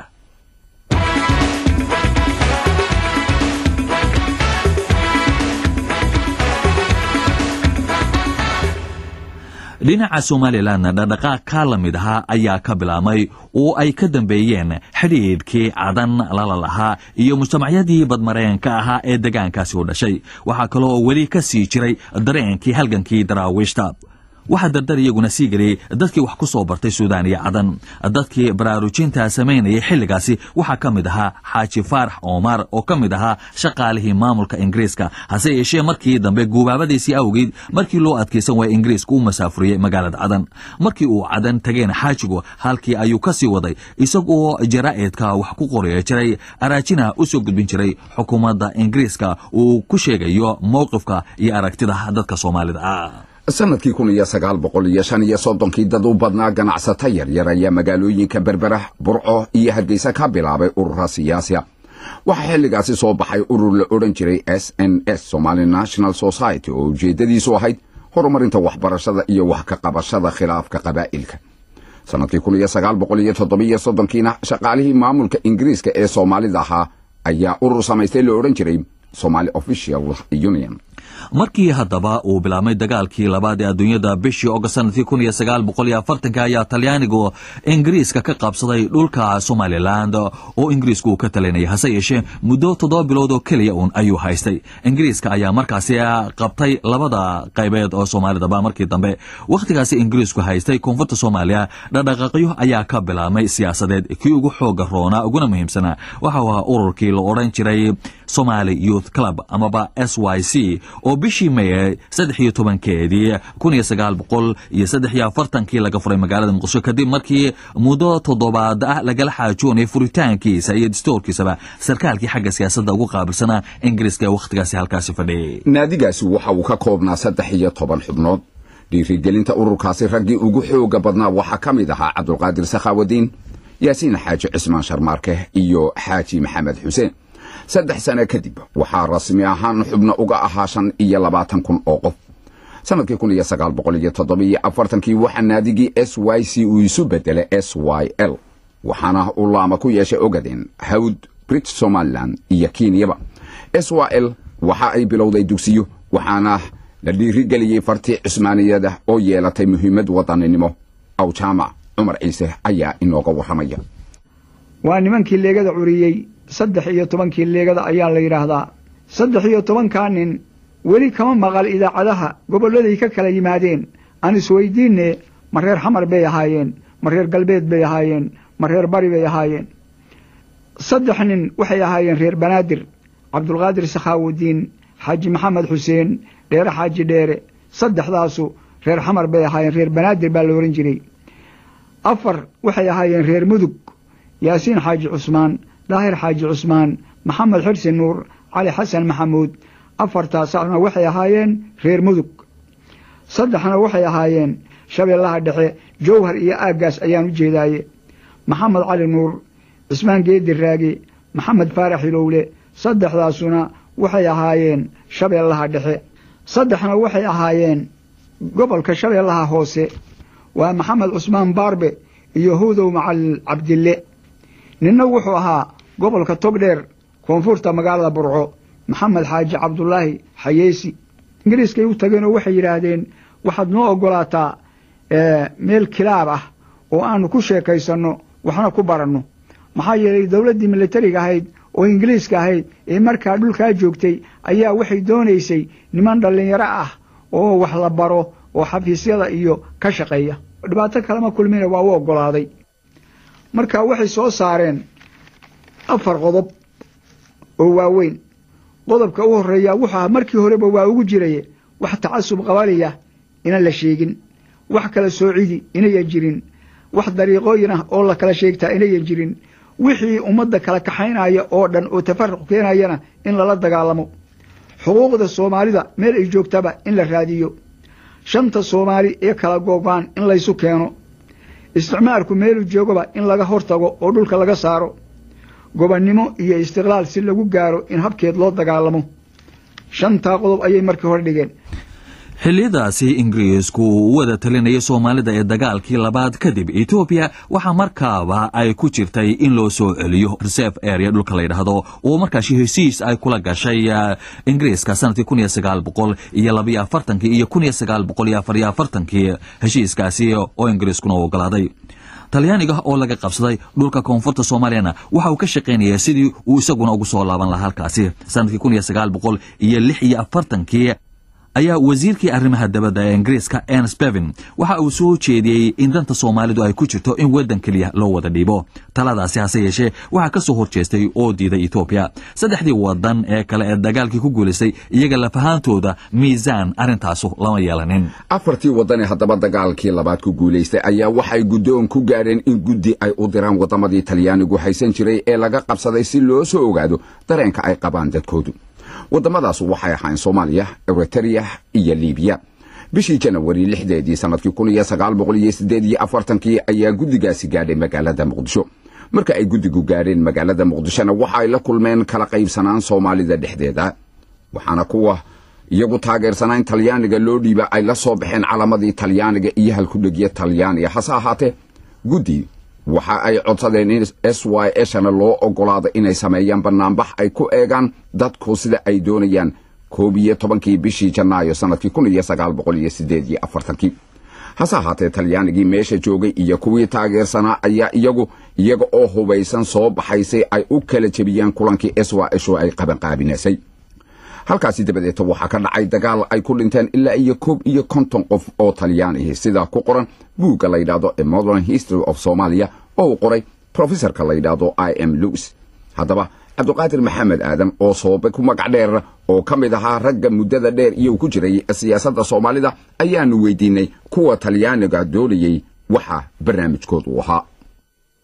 January waa tii konton iyo saddex talyaani lagu dilay waa tii dhibaato ka dhacday halkii waa lala noqday. Maxay dhibaatadu ka dhacday? Laysku dilo waxaa la isku dilay grupkii watay talyaaniga. Iyo gurubka leegada oo qeylinayso oo lama suurtoweyso yaa iska hor yimaadeen. Marka qoladan talyaaniga wadataa yay ahayn horta. Markaas conference la dhihi jiray. Waa kuwii sheegtay axsaabtii kale isu tagtay ahayn maxay doonayeen? Waxay doonayeen talyaani doonayeen talyaani waxay ku doonayaan muddo soddon sano. ah inuu sii hayo. Inayna yaraanin cala aqal. Yani ay la noqdo. Soddon sano kadib gobonnimada la saasay wateen. Kontonkii yaa waxaa la gooyey november inuu talyaani meesha joogo. Toban sanana istiqlaal dadkan gaarsiiyo. Maxaa keenay in talyaaniga loo dhiibo? Markii la warsaday in layidhi ma talyaan rabtaan leega waxay warsatay quatra power. Afarta power waatay warsatay afarta power hayaan. talyaani wuxuu samaynaya asagana lobing in loo dhiibo. Wuxuu ka samaynayay united nationka gudaheeda markii tobankii sano loo dhiibay cabdiqaadir talyaaniga ee layidhi soomaaliya adigaa haynaya. Ma jireen ururo iyagu markaasi kuwan hore ee aad ii sheegtay mooje kuwa markaasi dhashay oo kala qaybsamay oo markaa s y shii laftirkooda ka soo horjeesta markaas aniga aan joogo israel yaan ahay laana annaga dhalinyaro nin wax garanaya dhanba israel buu ahaa. Dadka o dhan israel bay ahaayeen. Markii talyaaniga loo dhiibay nineteen forty seven march xisbiya digil imifla la aasaasay. Digil imiflihii marka qabiilkii xagga intaa usu tagtay qabiil eed horo. Wax keliya qabiil aan sheeganaynin oo ummad isu keenay oo soomaali isu keenay oo halka dhigay ahayd waxaa la bilaabay in lagu kala ordo istiqlaalkii israel waxaa ka waxaa ka soo daahiray aniga tayda aragtidayda qabiilnimo. Aniga waxaan ahaa raggii ragga u horreeyey oo israaisha ka tegey. Sanadkee kun iyo konton iyo kow bishii noofembar haddaba sannadkii kun iyo sagaal boqol iyo sagaal iyo afartankii ayaa golihii guud ee jimciyadda qurumaha ka dhexaysa muddo toban sannadooda u xil saaray talyaanigu inuu xukumo koonfurta soomaaliya. Kun iyo sagaal boqol iyo sideed iyo afartankii ayaa ingiriisku isna go'aan ku gaadhay in dhulka soomaalida ee maanta ka tirsan etoobiya uu ku wareejiyo. Sidii ay dhigeen heshiisyadii labada dhinac dhex maray sanadihii kun iyo sagaal boqol iyo labaiyo afartankii iyo kun iyo sagaal boqol iyo afar iyo afartankii. Go'aankaasi oo jigjiga lagaga dhawaaqay waxaa ka dhashay rabshado rabshadahaasi oo ay ku dhinteen dad tiradooda ay gaadhiso ilaa shan iyo labaatan qof oo soomaaliya hase yeeshee saddex iyo labaatankii bishii sebtembar sannadkii kun iyo sagaal boqol iyo sideed iyo afartankii ayuu ingiriisku etoobiya ku wareejiyey dhulkaasi. Sagaal iyo labaatankii noofembar kun iyo sagaal boqol iyo afar iyo kontonkii ayaa ingiriisku heshiis cusub uu la galay etoobiya oo uu kaga baxayay dhulka la odhan jiray hawd iyo reseveria goorma ayaa haddaba ingiriisku u sheegay dadka soomaalida ah inuu bixiyey hawd iyo reseveria amaba dadka soomaalidii ay ogaadeen waa kan cumar cabdi qaalib sanadku markuu ahaa kun iyo sagaal boqol iyo afar iyo kontonkii xisbiga keliya siyaasiga markaa jira wuxuu ahaa s n l oo markii u horreysay lagu bilaabay s n s somali national society somali national society. Markii dambena isu bedelay somali national league. Sheekh waa xarunta tacliinta ee markaa lagu barbaarinayey madaxdii maalintaasi berrito la odhan karay. Waxaanu markaa dawladdii ingiriiskeena xukumaysa weydiisanay inaanu soo barano dalka yaga that means somaliland waanu naqaane howd and reserved area ayaanu doonaynaa inaanu soo baranaan ku nidhi. Ee ha naloo diyaariyo baabuuro iyo sidii aan u tegi lahayn. Waayahay baa la yidhi markaa dabato meelihii reserved area markaa ka mid ahaa ku toosnaa burco iyo kuwii hargeysa ku toosnaa iyo kuwii boramo ku toosnaa ayaan soo wada maray. Walwaal wardheer qarbidahare dhagax buur markaanu dee soo dhamaysanay ayaanu dib u soo noqonay milmil awaare. Waxaanu ku soo noqonay hargeysa. Dawladdii markaa somaliland xukumaysa waxay tiri report soo qora. Waanu soo qoray report kolka hore waxaanu ka warramaynay un maxaan ku dhahdaa meelihii aanu tagnay iyo sidii naloo soo dhaweeyey waxyaala caynkaasa laakiin saddex ku saddex su'aalood ayaanu ku khatinay. Waxaanu nidhi maxay dawladdu iskuullo uga samayn weyday meelihii aanu soo maray inta ay dhowr intay ka soo kaxeeyaan dhagax buur iyo awaare iyo meelahaas ay amba sheekh amba boorama u keenayaan maxay iskuulle halkaa uga samayn weyday su'aasha labaad waxay ahayd waxaanu aragnay sarka saraakiil iyo iyo askar ethoobiya ah maxay meesha ka qabanayeen ilan waa dalkayagiye su'aasha saddexaad waxay ahayd macnaha reserved area waa maxay? Hawd garanay oo hawd marka hargeysa la joogo macnahu waa koonfurta hargeysa. Laakin reserved area maxay tahay? Maxay reserved u tahay? Nimankii markii ay dawladdu governorkii isticmaalka ahaa ee dawladda mustacmirka ahaa yani wakiilka ahaa markuu warqadii loo geeyey markaa markiiba london bay la xidhiidheen waxay yidhaahdeen nimankii macalimiinta ahaa waxay soo mareen reserved area. Dabeet waxayna weydiiyeen wy macnuhu waa maxay reserved area? Maxay reserved u tahay? Su'aalihii aan weydiinayn o dhan bay u sheegeen. Markiiba dawladda ingiriisku way soo jawaabtay waxay tidhi u sheega waktigii baa la gaadhay aad ay waajibi noqo noqotay in loo sheego heshiis sir ah oo inaga dhexeeyey haddaynu ingiriis nahay iyo dawladda ethoopia oo la kala saxeixday kun iyo sagaal boqol iyo afar iyo afartankii taasoo tix raacaysay heshiis kale oo kun iyo siddeed boqol iyo toddobiyo sagaashankii la kala seexday markii xuduudda africa la samaynayay lix bilood ayay arrintii qaadatay. Intii yani ay isu diyaarinayeen int siay noogu sheegaan maalintii dambe ayaa barasaabka naftiisu ku dhawaaqay. Siddeed iyo labaatankii february nineteen fifty five.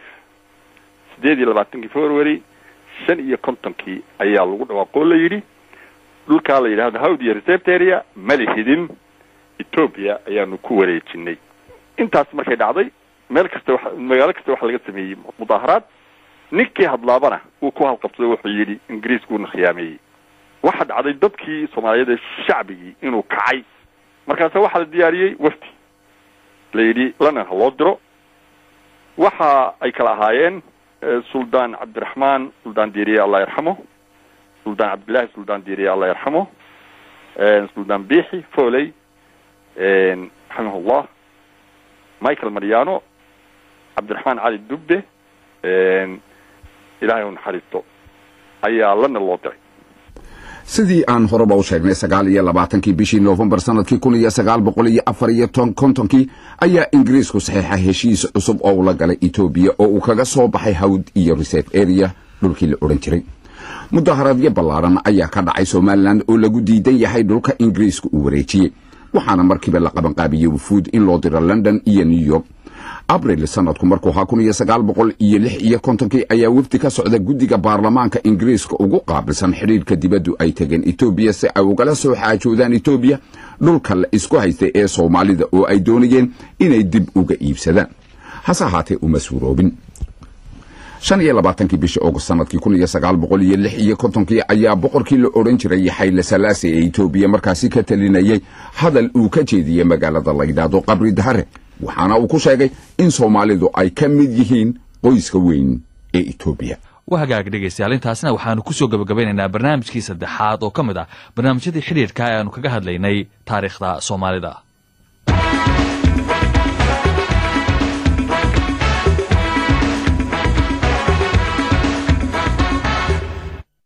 hagaag dhegeystayaal iminkana waxaa ku soo dhowaataan qaybtii afraad barnaamijyadii xidhiidhka aanu kaga hadlaynay taariikhda soomaalida. Barnaamijka horena waxaa ugu dambeeyey aanu ku soo qaadnay markii boqorkii dalka etoobiya boqor xayla salaase uu ka sheegay magaalada qabritahare in dadka soomaalidu ay ka mid yihiin qoyska weyn ee reer etoobiya intaa kadib haddaba waxaa sii xoogoobay doonistii soomaalidu ay doonayeen inay madax banaani helaan koonfurta iyo waqooyigaba iyadoo markaasi ay hormood ka ahaayeen xasaabtii s n l iyo s y l. Bishii disembar sannadkii kun iyo sagaal boqol iyo sagaal iyo kontonkii ayaa golihii guud ee jimciyadda qurumaha ka dhexaysa waxa ay gaadheen go'aan lagu soo afjarayo xilligii talyaaniga loogu dhiibay koonfurta soomaaliya inuu maamulo waxaanay ka dhigeen wakhtigaas inuu noqdo bishii julaay kowdeedii sannadkii kun iyo sagaal boqol iyo lixdankii waxaana taas laga soo horreysiyey wakhtigii markii hore loogu talagalay muddo lix bilood ah. Cumar cata oo ka hadlaya ololihii gobonnimo doonka bal mar kale aan idinku celinno. Bishii may kun iyo sagaal boqol iyo sagaal iyo kontonkii ayay soo saareen qaraar ay leeyihiin waanu waxaan siinaynaa xorriyad. Istiqlaalkoodii ha qaateen toddobiyo tobanka february ee sanadku markuu lixdanka yahayna electionku ha dhaco doorasho ha dhaco. Halkaasaa dee safxad cusubi ka bilaabantay. Markaasaa dadkii kaceen oo maxaanku idhahdaa shucuurtooda ay samada tagtay. Yar iyo weyn rag iyo dumar. Markaasaa dabeeto afar xisbi oo siyaasadeed ayaa markaa markii waktigii yimid ka qayb galay doorashadii. S n l n u f u s p iyo s y l.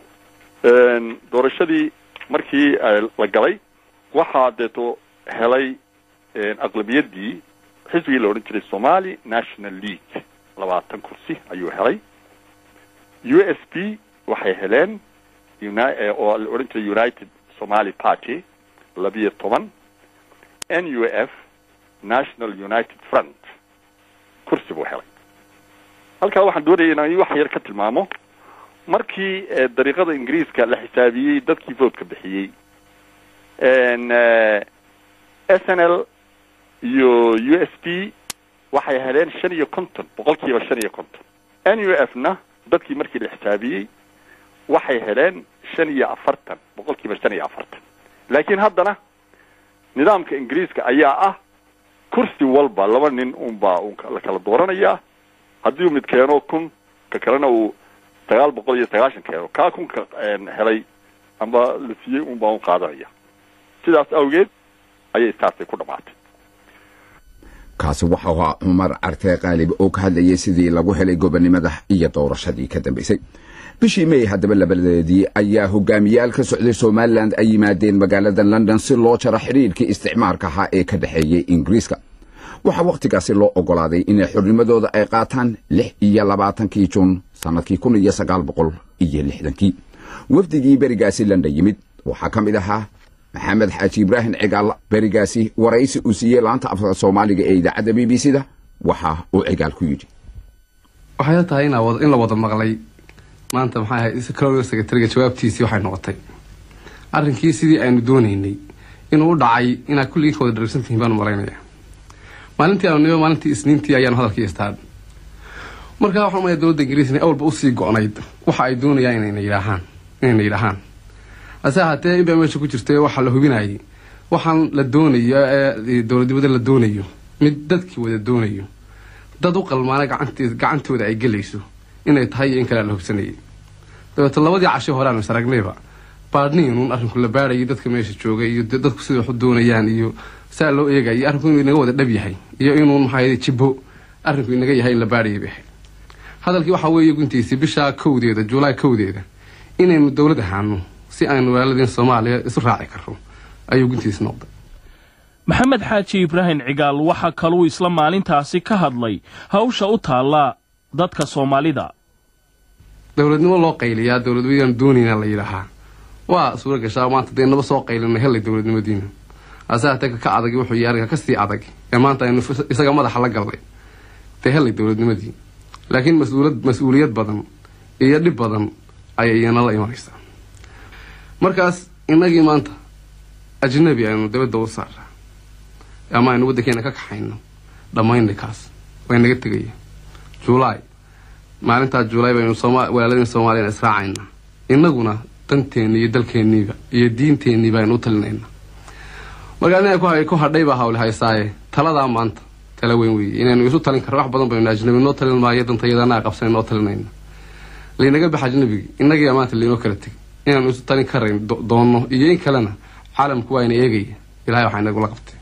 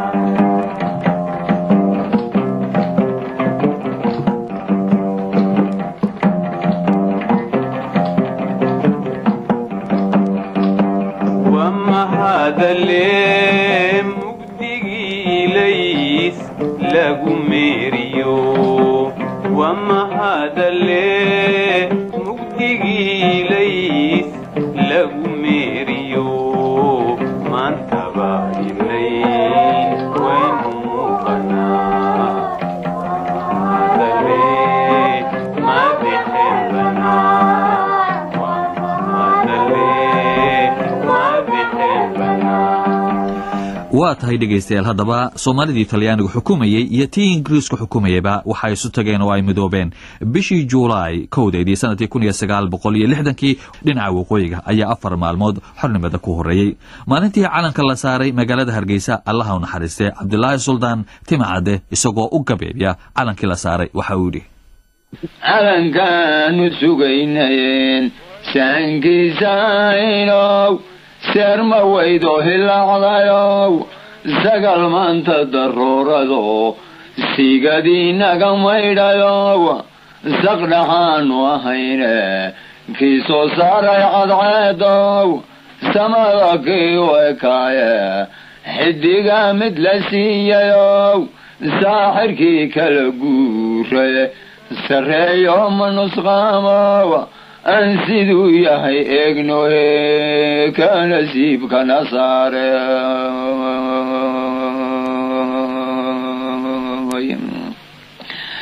saahidiinta islaamkoe subxisaa jimcayaashiyo sibyaanta iyo haweenku calankaysa hadseenow cidina kaanayna siinine saatir noogu yaboohayow saaxirkii kala guure sarreeyo ma nusqaamow aan siduu yahay eegnohe ka nasiibkana saare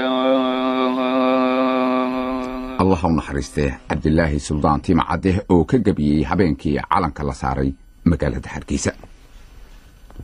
Intii haddaba aanay labada gobol aanay xornimada qaadan waxaa muddo laga wada hadlayay sidii loo midoobi lahaa. Arrintaasi sidaa u dhacday waxaa inoo faahfaahinaya mar kale cumar artaqaalib shirkii ugu horreeyey ee soomaalida somaliland baarlamankeedii uu qaatay ayaa wuxuu u diray tar soomaaliya baarlamaankeedii oo markaa uu madax ka ahaa aadan cabdulla cusmaan iyagoo leh haddaanu reer somaliland nahay baarlamaankii masilayana aan nahay waxaanu doonaynaa inaanu mid noqono calan keliya yeelano dawlad keliya yeelano iyadoo aan shuruud lahayn. Waxaanu doonaynaa arrintaa inaad si deg dega wax uga qabataan noona soo jawaabtaan.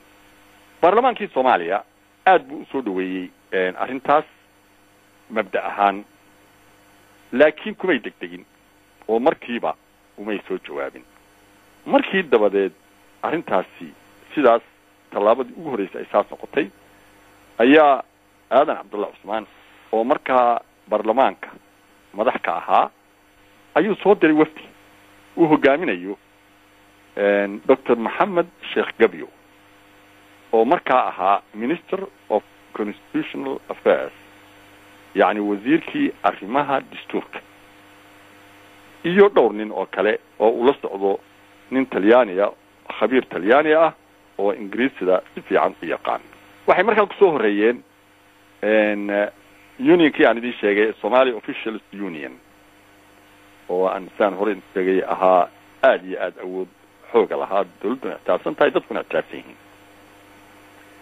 Marka maadaama aan sharaf u yeeshay inaan madax ka ahaa oo odayaashii qamaamuurtaha sharafta lahaana ay guddida fulinta ay ka mid yihiin ayaan isugu yeedhay shir.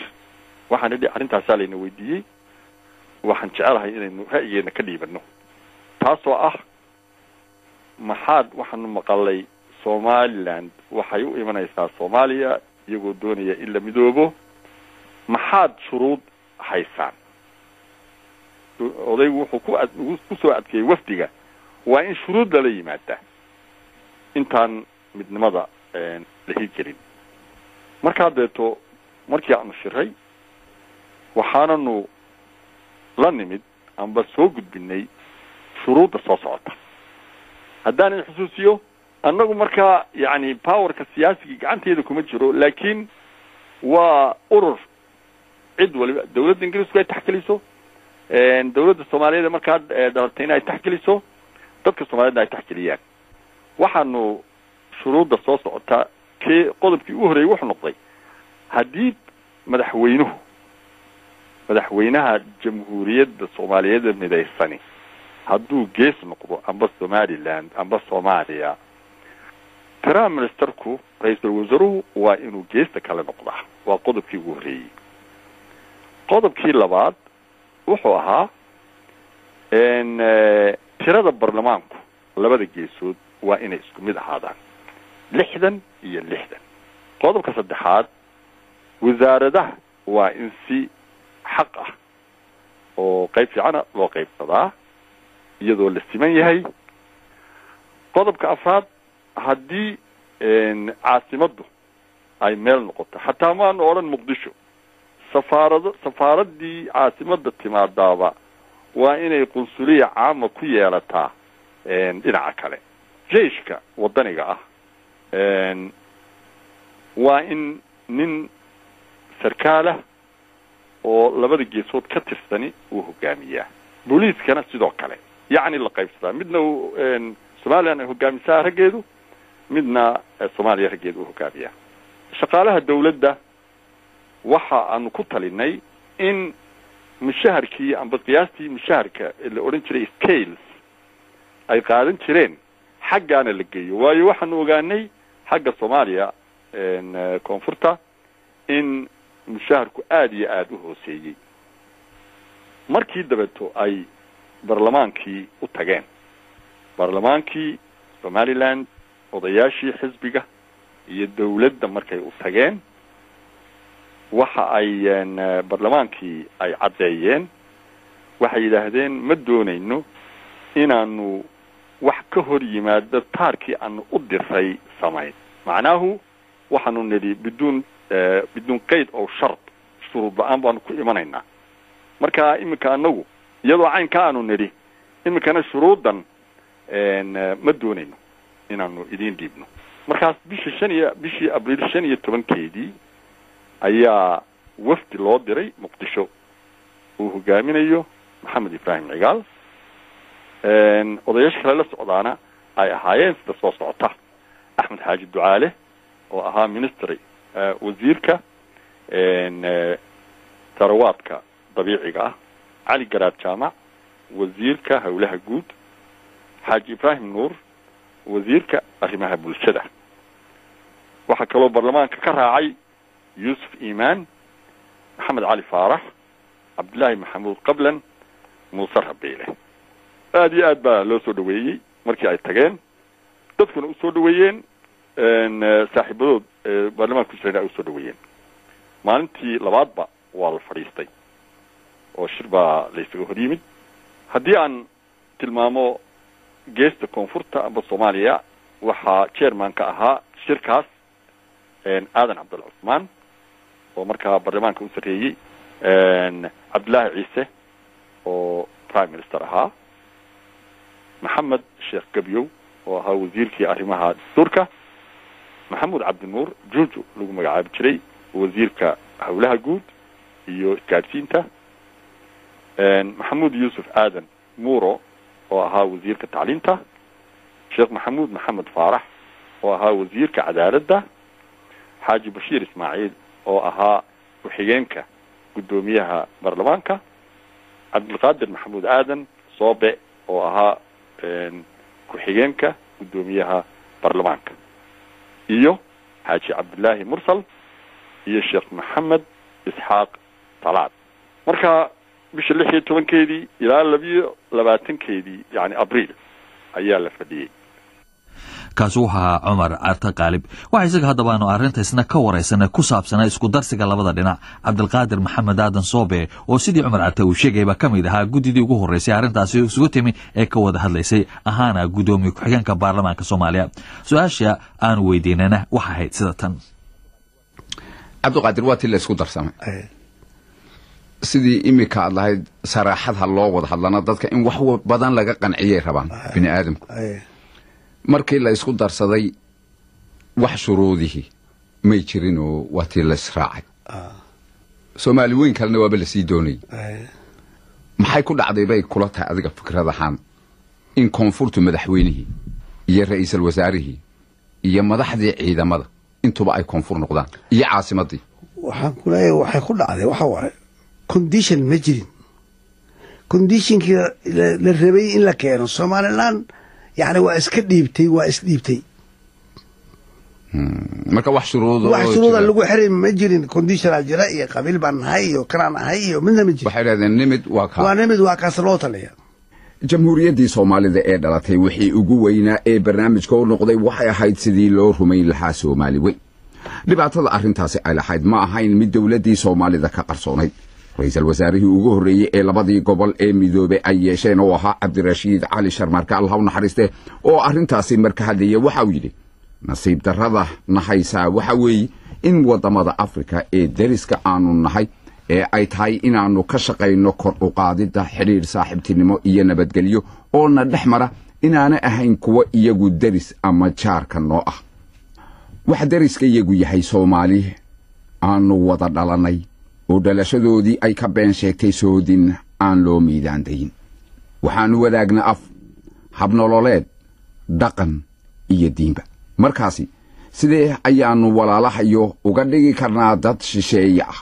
Sagaal iyo labaatankii bishii abril sannadkii kun iyo sagaal boqol iyo koob iyo lixdankii ayuu cabdirashiid ereyadaasi ku dhawaaqay haddaba cumar carte qaalib oo muddo dheer ahaan jiray wasiirka arrimaha dabadda ee soomaaliya. Ka horna ahaan jiray danjiro soomaaliya debadda oo fadhiya. Oo aan wax ka weydiinay dhibaatada soomaaliya ay kala kulantay. Dalalkii kale ee afrika marka ay timaado soomaalidu dhulka ay sheeganayso. Waxa uu cumar yidhi.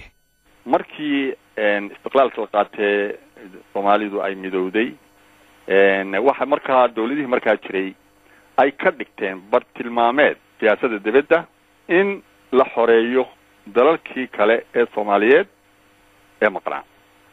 Waana la hareereeyey bilxaqiiqa. Isbahaysi baa dhacay. Yacni annagana la hareereeyey yani soomaalida la hareereeyey iyadoo dawlad yaroo markaa soo koraysa ah ayaa cidhiiri weyn la geliyey. Addis ababa waxay noqotay xaruntii jamciyaddii afrikaanku ay samaysteen madaxda africa o a u. Boqor xayle salaasi wuxuu ahaa nin caana nufuudna ku leh adduunka waxaanan odhan karaa qaraarkii madaxda africa ay gaadhay ee o a u da ku soo baxay magaceeda isagaa ka dambeeyey ee la yidhi waa in xuduuddu sidii isticmaalku uga tegay ay ahaataa. Cumar carte qaalib qaybtii afraadna intaas ayay ku dhan tahay ee sidaa iyo nabadgelyo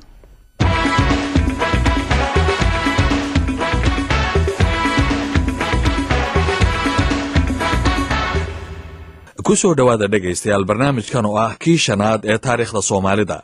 Hase yeeshee dhegaystayaal inta aanan bilaabin barnaamijkan waxaannu jecel lahay inaannu saxno qodob aanu qaladnay oo ka mid ahaa barnaamijkii ugu dambeeyey ee baxay oo sheekh jaamac cumar ciise uu ku sheegay gobollada ay ka kala yimaadeen saddex iyo tobankii nin ee aasaasay ururkii la odhan jiray s y l waxaanu ahaa qodobkaasi maxamed cabdilaahi xayeysi oo aanu ku sheegnay inuu ku dhashay gobolka togdheer allaha u naxariistee maxamed cabdilaahi xayeesi waxa uu ku dhashay degmada gabiley haddii haddaba aynu bilowno qaybtii shanaad ee barnaamijkan taariikhda soomaalida sannadkii ugu horreeyey markii ay isku darsadeen labadii gobol ee talyaaniga iyo ingiriisku ay kala gumaysan jireen waxaa taagnaa xiisihii laysu qabay sida ka muuqatay suugaantaba.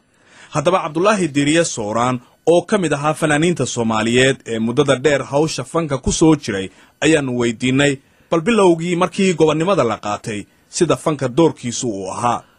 Aadan horta su'aal fiican baad weydiisay. Aniguse berigaa inkastoo aan carruur ahaa haddana waxba igama qarsoomeen. Waxaa xoogga berigaa la saarayay bacdamaa ay dhalatay dowlad soomaaliyeed oo israacday laba qaybood. Kuwii maqnaa inaan laga saxan. Oona sidaa ugu baraarujino heese fara badanna waa laga tegay maxaa ka mid ahaa markaa heesaha fara badan ma ama riwaayad ha haato ama gabay ha haatee ee wakhtigaasi aad baraarujinta u wadeen horta intaanan gobollada maqnaa kuu tirin markiiba waxaa la tirtirseeyey qoladii mas'uuliyadda qabatay ee maamulka haysay si ay kuwa maqanna wuxu dooraan dalka iyo dadka kuwa joogana nimcee barwaaqyahabaa barwaaqaaye wax ka intaa ay ka tari karaan ka taraan wax u qabtaan dalka. Waxaa ka mid ahaa iyo lixdankii la dhigay markiiba waata maxaa la odhan jiray waxaa la odhan jiray himilo himilo waxay noqotay waa siyaasad yaa sameeyey markaa riwaayadaas aliskulyo himiladeenna waa halkee ayaa la odhan jiray marka waxaa ka mid ahaa si ku jir jira nin lagu seexdo oo seexan xilbaa sidaa seexan toos dhiirigelintii iyaga la dhiirinayey waxaa kaloo ka mid ahaa waa laydin doortay ducana laydin saaree dooroonayaasha duca qaba duca qaba ahaan waata waa laydin doorto ducana laydin saare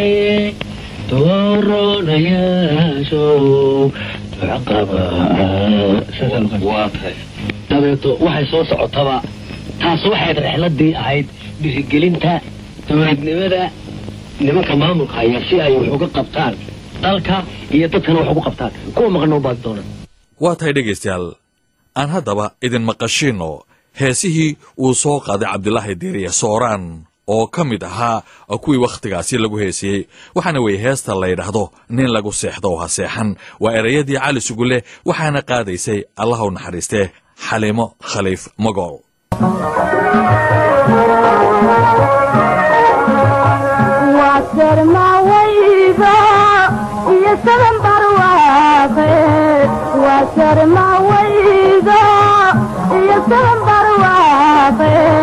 saddexdii maqanaana way soo socdaan saddexdii maqanaana way soo socdaan nin lagu sexdo seexan cilibaad sidaa seexan nin lagu sexdo seexan ha seexan ha seexan har seexan ha seexan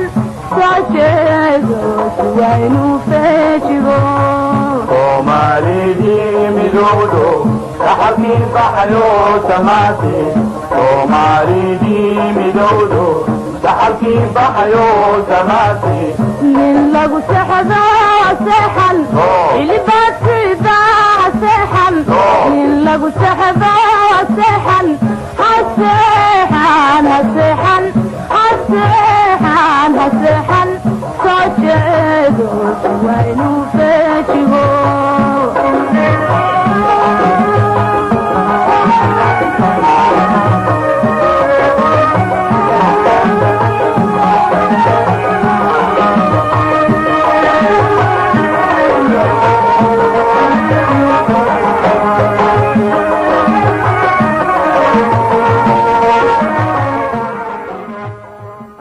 hawsha ay haddaba dowladdii ugu horraysay ee uu madaxda ka ahaa allaha u naxariistay cabdirashiid cali sharmaarke ay ku dhaqaaqday waxay ahayd sidii loo midayn lahaa maamuladii labada gobol. Cabdirasaaq xaaji xuseen oo xilligaasi ahaa wasiirkii arrimaha gudaha ee dowladdaasi ayaannu arrintaasi wax ka weydiinnay arrinta ugu cuslayd waxay ahayd qaynuunadii yiilay oo midna ingiriis ku qoran yahay midna talyaani ku qoran yahay. Iyo maamulka guud iyo mabaadida caamka ah oo ingiriiska iyo talyaanigu ay ku kala duwan yihiin maamulada. Marka arrin sahlan ma ay ahayn waxaa laga yaabaa dadweynahaas hadda suuqa iska jooga. Ma garan karaaniin arrintaasu culayska ay leedahay ama dhibka ay leedahay isu keenidooda. Laakiin dadkii muxuu ahaa ama waxgaranayay ama maamulka la kulmay iyagu sidii anoo kale iyo dadkii anagu ka mid ahayn. Bilxaqiiqati waa dareemi karaan in culayska labada nidaam oo iskhilaafsan ay wateen. Guddi baa la dhisay hadiibadiiba muxuu ahaa united nationsna ay yaqaana iyo technical assistance muxuu ahaa caawimaad ka bixiya iyo wixii dadka soomaalidu ma badnayn wixii uu soomaaliya xoogaa sharciyaasha iyo wax ka yaqinay guddi baa la dhisay waxaa loo bixiyey muxuu ahaa integration inay isu keenaan wixii qaynuunada iyo nidaamyada sharciyaasha wixii marka hadba laisu keeni karo in laisu keeno marka kuwii hadda ugu horreeyay muhiimka la saaray waxaa weeye bal dhinaca systemka administrationka iyo lacagta iyo baajidka iyo sida loo samaynayo iyo in laisu keena hadiibadiiba si maamul isu eg meeshii uga soo baxo. Dhinaca southka waxaa jiray dad xiga kalaas xoog leh oo markaa maamulkana wax ka hayay oo laba luqadii ingiriiskana garanaya luqadii talyaanigana isla garanaya marka ayadaas ruuxeedu aad bay u saasay. Waxaa la tixgelinaya xoogaa la qiimo la siinayay dhinaca nidaamka ingiriiska xisaabaha iyo maamulka administrationka inkasta oo meel walbaba influencida labadan qolo mid walbaba ay ku lahay talyaanigu baajidka miisaaniyada caadiga ah oo dowladda soomaalidu ka shaqaynaysay ayuu wax ka bixinayay ingiriisku wax ka bixin mayne marka talyaaniga oo baajidka wax ka bixinaya wuxuu malaysan karaya waxa weeye luqadiisa iyo nidaamka isagu ka tegay inuu malaha noqdo midka wax lagu xukumo oo siyaadada wata laakiin xaqiiqada saasuma dhicine. Ragga iyagii hawsha ku soo beegantay waxaan tixgelinay in ay nala tahay mustaqbilka inaan xooga saarno dhinaca ingiriiska iyo nidaamka ingiriiska inaan administrationka inaan u leexino dhinaca southka waa la ogaa inay ku jirto nidaam united nations system ah oo kontonkii la gooyey oo toban sano kabacdi ay xorriyo qaadanayaan laakiin dhinaca shimaalka ama waqooyiga ilaa iyo sagaal iyo kontonkii dhexdhexaadkoodii lama ogeyn ingiriisku muxuu ka maagsan yahay mustaqbilka dhulkaas lama ogeyn. Marka dhinaca waqooyiga wax u diyaar ahaayo barnaamij ahaayo ama aad loo soo loo soo dhisay inay xorriyo qaadanayaan iyo muddo ay ku yiranayaan inay xorriyada qaadanayaan ma ay jiraan. Inkasta oo kontameeyihii dhexdoodii iyo intii ka dambaysay tacliinta iyo ingiriisku wax ka qaftay dhinaca waqooyiga tacliinta xoog saaray oo dad soomaaliya xoogaa training loo diro oo laba laba sano iyo oo training la soo siiyo. Mideeda kale oo aanan ka tegin waxaa weeye ragga iyagii hadda hawsha ku soo beegantay oo mas'uuliyada waday ruuxa iyagu hadda dadkaan ukale aqoon weyn aan ugu lahayn ma jirinin hawsha baa nagu soo beegantay waxaa nagu soo beegantay intii gobonnimadii xorriyada la doonayay dadkii xoogaa dadku iska soo hormariyay oo hawsha wax ka wadwaday baanu yaan ku soo baxnay marka iyaga ruux aqoon weyn maanu lahayn laakiin waxaan is leeyahay niyo iyo dadaal fiican inay jireen baan qiyaasaya haddaba dhegaystayaal sida cabdirasaaq xaaji xuseen hadalkiisa ku caddayd ama ka muuqatay midayntii labada gobol waxay ahayd howl aad u culus oo laga yaabo dadka caadiga badankoodu inaanay u muuqanin brofesorka la yidhahdo iam lewis oo ah nin taariikhda soomaalida si aada wax uga qoray. Barnaamijkan taariikhda soomaalida ku saabsanna aanu si xooga ugu xiganayno waxa isna uu ku qoray buuggiisa la yidhaahdo modern history of somalia. In kasta oo labada gobol midnimo dhaqan ay ka dhexaysay haddana waxay lahaayeen dhaxal xagga dhaqamada gumaysiga ah oo kala caddaa oo ay ka mid ahaayeen ingiriiska oo xoogga saara xagga tayada waxbarashada horumarka mujtamaca garsoorka iyo dhaqan wanaagga xagga maamulka iyo in la kala saaro arrimaha siyaasadda iyo maamulka. Arrimahaasuna waxay ahayn siday u arkayeen reer waqooyigu qaar aan kala caddayn dhinaca koonfurta. Faraqa xagga maamulka u dhexeeyey labada dhinac kasakow waxaa iyaguna jiray dhibaatooyin kale oo ay ka mid ahayd muqdisho iyo hargeysa oo xiriir xagga taleefannada ahi aanu ka dhaxaynin markii la isku darsaday. Gaadiidka xagga cirka oo iyagu u badnaa diyaarado kuwa booliiska ah isaguna marmar ayuuba ahaa socodkiisu. Jidka dhulkuna laami la'aan awgii waxa uu ahaa mid aad u dhibaato badan waxaana safarka baabuurada uu qaadan jiray haddii markaasi wax dhibaato ahi aanay iman ugu yaraan saddex maalmood kadib haddaba markii uu burburay xiisihii ay isu qabeen labadii gobol ee midoobay ayaa haddaba waxa soo baxay dareemo ay ugu xoog badnayd reer waqooyiga oo isweydiiyey isku darsigii labada gobol inay ku khasaaroobeen iyo inay ku faa'iideen. Arrintaasi waxay soo shacbaxday markii saraakiil ciidamada qalabka sida ka tirsan ee soomaaliya oo reer waqooyi ahaa ay sameeyeen afgembi dhicisoobay bishii disembar sannadkii kun iyo sagaal boqol iyo koob iyo lixdankii. Cabdirasaaq xaaji xuseen ayaa ahaa wasiirka arrimaha gudaha ee dowladdii saraakiishaasu ay ku kaceen. Sababta haddaba laga yaabo inay ku kaliftay saraakiishaasi inay isku dayaan afgembigaasi waxaanu wax ka weydiinay bal sida u arko cabdirasaaq xaaji xuseen waxaanu ku jawaabay. Wallaahi arrintaas muxuu ahaa si nasiib darraabay ee ku dhacday aqoonteedu waxaan u malaynahayaa garashadayda nimankan niman dhalinyaro ah oo dhowra bay muddo aan fogeen ka hor bay ka soo noqdeen ee adugu kulliyo muxuu ahaa militariga oo mudayarka bacdi isku darkiibaa yimid. Markaas labadii wadan isku darsameen dhinaca militariga nimankii madaxda kale waxay u barteen oo noqdeen dadka southka ah maxaa jira? Dadka southka ah awal muddo loo soo shaqeeyey laga soo la soo dhisay weeye. Inkasta oo ayan kulliyo weyn oo sida ragga dhalinyarada oo ka soo baxay ayaan ka soo baxin. Laakiin labaatan sano oo taraynina bay soo mareen. Laba laba sano ruuxuhuba ay soo qaateen oo kulliyo ay itaaliya ka soo qaateen. Khibrad dheer oo waayo aragnimo oo labaatan sanahana waa ay lahaayeen. Niman ku xun ma ay ahayn inay madax ka noqon karaan militariga. Laakiin dareenkeyga waxaa weeye nimankan dhalinyarada ah waxay istuseen nimankan waa iska cilmi badan iyagaa madaxnimadii haysta. Marka waxaan u malaynayaa ambition ama mahadama muxuu ahaa darajo iyo iyada oo halkaas sano oo hadda maaragtay laysku darsanaa idaacooyin iyo warar aan badidoodu sax ahayn ayaa suuqa la mariyay oo la yiri noord waa la laqay oo south baa laqay oo hadalkana lagu qabsanayo maaragtay muxuu waa suud weeye prime ministerkii suud weeye wasiirkii daakhiliga south baa haysta muxuu booliiskii muxuu ahaa south baa haysta generaalkii marka noord waxba maba ahaba waa la laqay marka haddii hadalka saas loo yidhaaho intaas sheegaa dhan run weeye laakiin haddii hoos loo baaro la yidhaaho maxay ku dhexeen soo saas inay ku noqoto.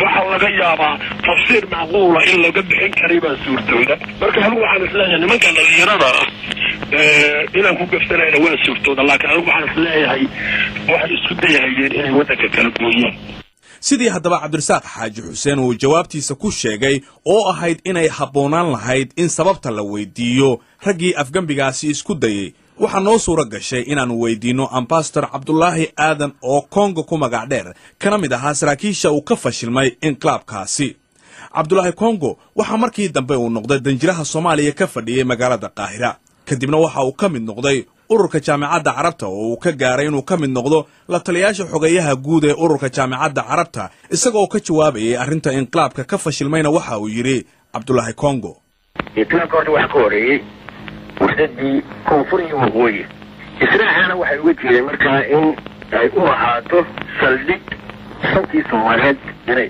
laysku keeno halkaa. Markii waxdadaasu dhalatay sida xamaaska ay ku dhalatay baa markiiba waxaa bilaabmay in maslaxaddii shaksiga ahayd ama danguursasho in yari leedahay ay ka kor yeesho maslaxaddii caamka ahayd. Taasaa ka weynaatay. Waxaana jiray markaa miisaankii markaa taagnaa xagga waqooyigu. Waxaad moodaa inay ka baxeen oo wixii oo dhama ay noqotay in miisaanka uu noqday xaggii koonfurta uun. Waxaa dhacday markaa markiiba dadka jooga waqooyiga cadaalad xumaa ay dareemeen diidmaa dhalatay israaca wax la yidhahdaa waxaa la saluugamaad leedahay markaa israacay israaci maxaa markaa ku cadaynaysa inay saluugaasi jiray. Waxaa cadaynaysaa dastuurkii ama constitutionkii israaca xagga waqooyiga aqlabiyadii inteedii weynayd waa diiday. Waxaan xusuusay haddaana khaldanayn gebigiisaba waxaa ogolaaday afar kun iyo shan boqol oo qof.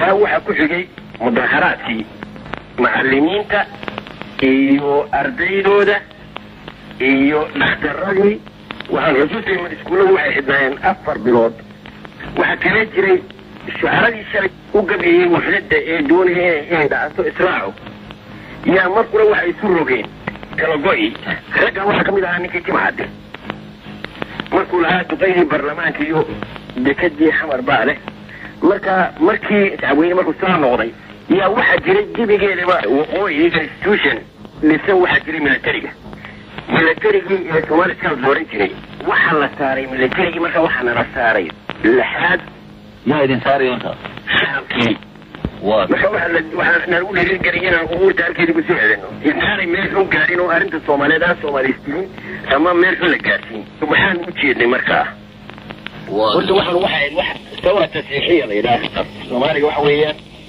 ku saxdo marka waxaan waxaan doonay waa inaanu ku soo celinaa arrinta siday ahayd june annagoo quwad isticmaalayna si aynu u saxno salatadii siyaasiga ah ee dhacay oo loogu bedelo cadaalad eh, shacabka dhexdiisa ah waxa kale hadafkayga labaad wuxuu ahaa in dadku u wada siman yahay wixii xuquuqa iyo wixii waajibaadka ah waa tahay cabdillahi kaa dhex galaa markaad leedahay waxaanu doonaynaa inaan wixii saxno ma waxaad doonaysaan inaa wadahadal dambe gashaan oo waqooyi ku kula waa taa waa tahay wadahadalkii anaa ku imanaya inaan wadahadal doonina ku caddaan doontaa arrintuba waa tahay marka waxaan doonaya in dadku isku mid ah eh, laga wada dhigo cad- xagga qaanuunka iyo xuquuq waxay leeyihiin iyo wixii haystaa ay waajibaad leeyihiinba in loo sinaado waxaanu kala doonaynay inay waxa qura ee bani aadam mid soomaaliya lagu qiyaasi karaa inay tahay kartidiisa iyo cilmigiisa oo aanay noqonin reer hebela iyo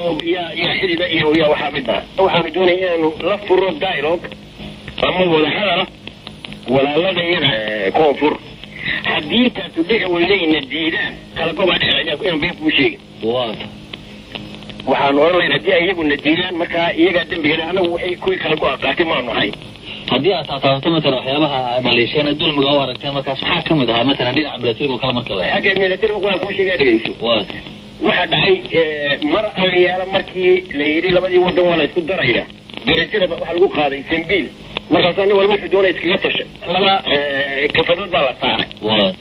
Reer hebel inkaasay leeyihiin reer hebel inkaasay leeyihiin militariga reer hebel baa leh eh, boliiska reer hebel baa leh ku-xigeenka reer hebel baa leh ku-xigeenka kale eh, militariga reer hebel baa leh waxa inkaas xagee ka dhacaysa taas dee koonfur Eh, raggii boliiska ahaa yunbaa noologa dhigay jenaraalla iyo wixii. Annagoo markaa ka soo baxnay military academy oo soomaalina dee ah. Ta kale waxa weeyaan mar qura annagoo aan wax alle waxaanu iska filayi jiray sidii mustacmarada la qabsaday. Iyo anigu waxaan garanaya waxaan joogay meesha goreecaw la yidhaahdo. Waxaan ridayay rasaas baan ridayay markaa. Afar mee shan inoo saraakiinoo koonfur ka timi. Yunbaa iyagoo laanrubarqaso iyagoo laanfar ku joogo markuna anigii idul yimaadeen leeya aniga waa comandantii baana kana waa fisha comandantii kana waa caynka kana waa caynka. Waxaan ogaana ma jirin oo goormaa noqoteen maxaa maxaa waa maxay waxaan. Waa maxaa la igu soo sheegi waay? Meesha waa la isqabsada yani wax wax caynkaas oo aan aan cadaalad ku jirin iyo militariga dhexdiisa ka dhacay. Waa tahay kaasi waxa uu ahaa cabdilaahi kongo cabdirasaaq xaaji xuseen oo ra'iisul wasaare ka ahaan jiray soomaaliya hase yeeshee xilligii inqilaabka saraakiishu ay isku dayeen ahaa wasiirka arrimaha gudaha sidii aan horeba u soo sheegnay ayaanu isagana arrintaasi wax ka weydiinay cabdirasaaq ma kugu muuqataa dhinaca shaksi ahaan marka la eego xilligaasi in ay ka muuqan karto meesha matalan in waqooyigii saamigii ay helayeen aana helno qadar xaq darriga ku jira meesha. Su'aasha waxa weeye sidee bay ku timid? Waxa kaloo siday ku dhaceen weeye sidee ku timid? Awal buule markii laysku soo darsamay hadiiba diiba baarlamaankiiba la isugu yimid iyadoo loo dhan yahay waxaa lagu heshiiyey oo aan la isku khilaafin oo qof walbaba gacan saxabis lagu waxeeyey aadan cabdulla cusmaan inuu noqdo madaxweynihii jamhuuriyada isu timid soomaaliya qof hadal ka qabay iyo qof la tartamay iyo qof aan ogolayn xaqiiqadu ay tahay ma jirin dood looma sameyn saxabis baa lagu aqbalay okay aadan cabdille markuu qabtay meeshii dastuurku wuxuu sheegaya waxa weeye aadan cabdille waa inuu dadka la showraa markuu dadka la showro waa inuu magacaabaa u yeeraa nin ay la tahay ninkii isaga ay la tahay inuu biro prime minister laa saame qabiil walaa saame muxuu ahaa gobol midkoodna maskax meesha ku jirta waktigaa ma ahayn aadan cabdille waxay la noqotay cabdirashiid inuu ka dhigaa prime ministerka inuu ka dhigaa baarlamaankii waxaa loo doortay in isaguna reer waqooyiya yaa loo doortay saddexda jago oo ahaa ugu waaweyneyd oo legislative executive iyo baarlamaankii judiciary iyagu gooni bay ahaayeen waxaa yimid booliiskii iyo militarigii militariga awalba intaan laysku soo darsamin muxuu ahaa yaa la gooyey southka oo ingiriis talyaanigu hayayoo in military la sameeyo generaal daa-uud baa laga dhigay inuu militariga u madax yahay ayaa markaa laga dhigay muxuu ahaa booliiskana maxamed abshir oo isna generaalaba ayaa hayay markii booliiskii laisu yimid jaamac qoorsheel oo isaguna korneyla baa xagga ka yimid oo booliiska wada ayaa ka yimid. Booliiskii meesha joogay waxaa isla ogolaaday ana itinka inaan qof kuran ka keenaysan jirin.